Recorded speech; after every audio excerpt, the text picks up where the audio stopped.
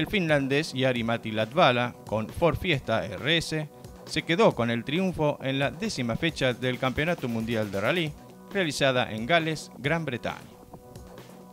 Navegado por su compatriota Mika Antila, Latvala llegó a la punta en la tercera etapa del primer día y gradualmente fue estirando la ventaja hasta alcanzar los 28 segundos en la llegada.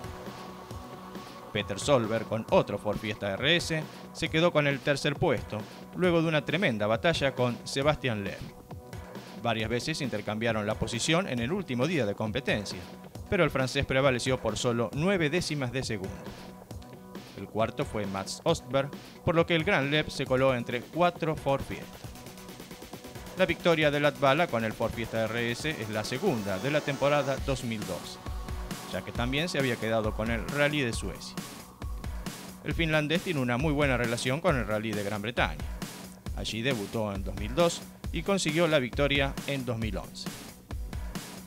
Cuando quedan tres fechas para el final, Sebastián Loeb encabeza el Campeonato Mundial de Pilotos con una diferencia de 61 puntos sobre Girbon. Son los únicos dos que pueden llegar al título.